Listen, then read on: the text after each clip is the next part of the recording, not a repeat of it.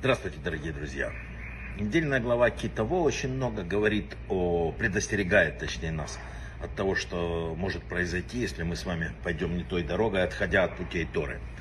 В частности, она предостерегает э, от идолопоклонства. В каждом человеке, говорит Тора, соседствует два начала, доброе и злое. Злое начало редко атакует нас в лоб. Оно не призывает нас вот идти сразу убивать, воровать, поклоняться идолам. Оно говорит другое. Смотри, как тяжелые заповеди. Смотри, как тебе сегодня сложно. Или сегодня, если ты не пойдешь там, ни один штвелин не пойдешь в синагогу, или вот не выполнишь какую-то заповедь, ну ничего страшного, отдохни, завтра будет лучше. Оно лишает нас радости и уверенности в себе. Мы продолжаем иногда даже что-то делать, какие-то заповеди, что-то, но механически, без души. Нет сердца. Спустя некоторое время потом находятся и уважительные причины, чтобы не выполнить вообще что-то, пропустить. Иногда забываем, и постепенно происходит отход от Торы. И в один прекрасный день, сами того не замечая, мы попадаем в объятия идолов. Да, идолам, потому что когда ты не служишь Торе, ты будешь обязательно служить идолу.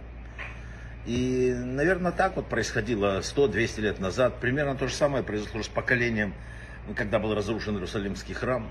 И не зря говорится, что если в твоем поколении храм не построен, он как бы разрушен. Да, так же и у нас.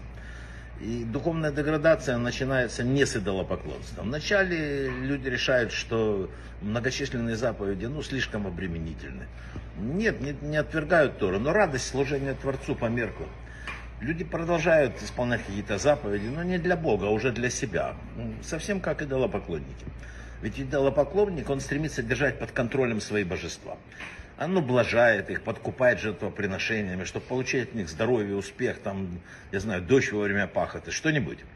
Когда люди служат Богу без радости и веселого сердца, они превращаются в идолопоклонников, поскольку стремятся не приблизиться к Богу, который является источником высшего блага, а лишь подкупить его.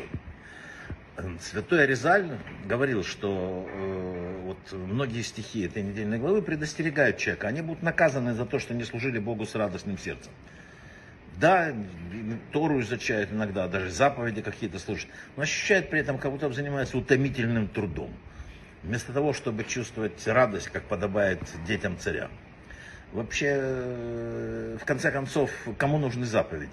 Ведь по сути Богу не нужно ни наше подчинение, ничего мы не можем добавить к Его безграничному величию. Тора это свидетельство проявления Его милосердия, дающее нам возможность усовершенствовать себя и быть удостоенными, так сказать, приближения к Нему.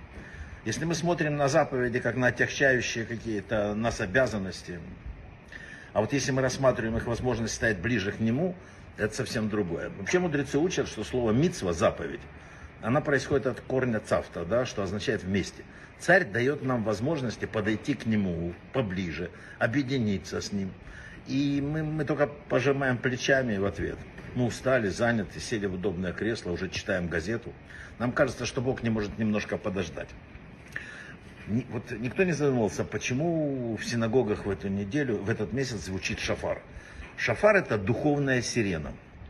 Она как бы призывает человека, проснись, остался только вот последний кусочек. Именно сейчас ты должен принять правильное решение.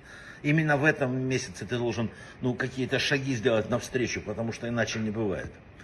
Э, знаете, мы, мы должны искать свой плод вот в этом бушующем море.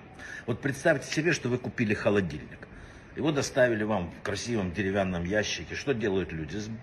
Достают холодильник и выбрасывают деревяшки. Понятно? То, что нам нужно. Теперь представьте себе, что вы находитесь на тонущем корабле, в компании с этим же холодильником. Какие ваши действия? Корабль тонет. Правильно, вы сталкиваете холодильник за борт, а деревянные доски прижимаете к груди. И пока подавляющее большинство людей тянулись к, тянутся к новому холодильнику, надо то держаться за деревянную обивку вот эту вот. Написано «Она Тора, дерево жизни для тех, кто держится за нее» и счастливы те, кого она хранит. Это слова из книги Мишлей, притчи царя Соломона. И мы произносим это во время молитвы, когда Тора возвращают в шкаф после его чтения. Вот это вот и есть спасительный деревянный плод в бушующем море. Наша Тора, приближение к духовности, какая-то, ну, какие-то шаги навстречу ему.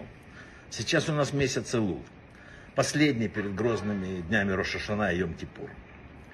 В эти дни мы будем давать отчет Богу за прожитый год и получить от Него вид на жительство на следующий, кто получит. Это время духовного очищения, укрепления связи с Торой, с ее ценностями, с Творцом. Мы должны крепко держаться за Тору эти дни. Это и есть спасительный плод. Она и только она держит нас на плаву. И вот несмотря на бури, грозы, вот она спасает. Поэтому счастлив тот, кто в эти дни услышит шафар, кто поймет, у кого сердце откроется, и который пересмотрит свою жизнь. Брахавы от слахам.